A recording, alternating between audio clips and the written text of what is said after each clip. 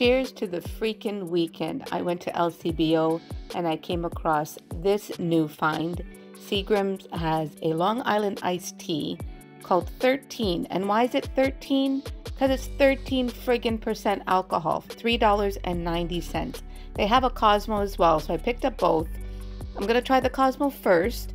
So I poured it up just to see is it everything that it is promising for $3.90. I may have found my summer drink in March. I can smell the alcohol already. This is not your grandmother's 1980s wine cooler.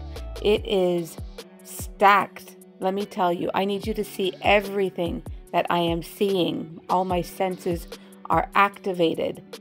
This smells fantastic. It's like when you get the drink at the bar and it has all of the garnishes and beautification. But this is just coming straight out of the can, and I can't wait to make my husband taste it. And he was pleasantly surprised. He knows what he's talking about, believe me. Head on over, take a sip, enjoy your weekend, folks. Follow for more.